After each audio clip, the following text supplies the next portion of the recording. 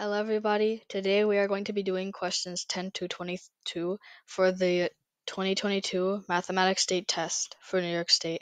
So let's get started. For question 10, it says Zach earns the same amount of money each week doing yard work. If he earns $36 at the end of four weeks, how much money does Zach earn each week? So we know that he earns $36 in four weeks. So to find out how much he earns each week, you have to divide 36 by 4 and that gives you 9. So he earns $9 at the end of each week.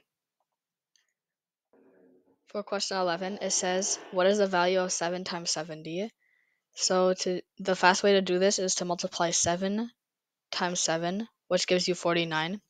And there's one zero at the end of each of the factors. I mean, all of the factors. So you put one zero at the end of 49, which gives you 490 as the answer. Let's move on to the next problem. For question 12, it says a student draws a rectangle on a sheet of paper. He labels two of the sides one unit and the two other sides two units. What is the area of the rectangle? So, to answer this, you need to know the area of a rectangle, which is length times width square units. So you always put square units at the end of your answer. And here it's one unit long and I mean it's one unit long. Wait. I mean it's two units long and one unit wide. So two times one is two. So the area is two square units, which is answer choice A. Let's move on to the next problem.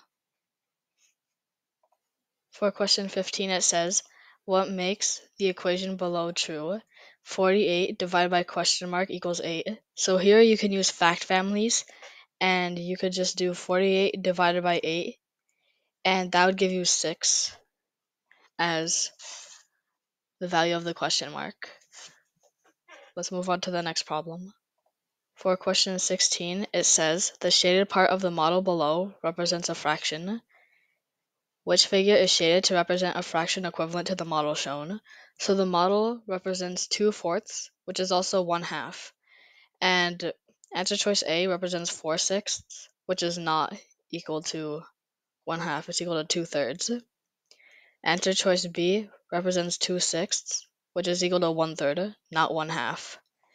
Answer choice C shows 2 eighths, which is equal to 1 fourth and not 1 half.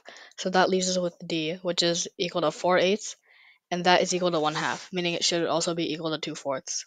So D is the correct answer for this question. Let's move on to the next problem. For question 22, it says Greg walked one mile from his house to a store. After walking two six mile, he stopped to smell flower. After walking another three six mile, he stopped to tie his shoe. Which number line correctly shows the locations where Greg smelled the flower and where he tied his shoe? So, for answer choice A, there are one, two, three, four, five, six units between the home and the store. However, it shows that Greg sniffed a flower after one part of this entire number line, which represents one sixth, not two sixths. So A is not the correct answer. For answer choice B, it shows one, two, three, four, five, six units, and Greg stopped to smell flower after two parts, meaning he walked two six miles. And then after one, two, three units, he tied his shoe, which is correct. So B is the correct answer for this question. And the answer is not, I mean, the reason why it's not C or D is because there are one, two, three, four, five, six, seven, eight, eight parts to the number line. And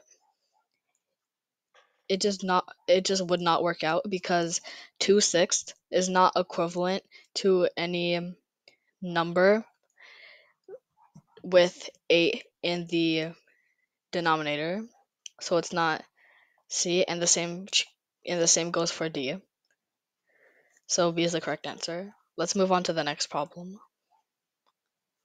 actually no, we're done. So uh, that is all for today. If you found this video helpful, please like, share, and subscribe. I will see you in the next one. Bye.